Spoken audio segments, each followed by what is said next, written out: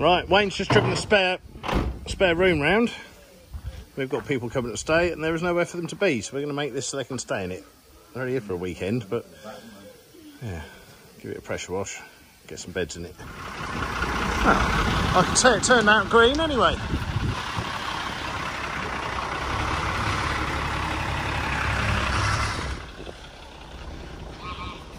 It's our new spare room.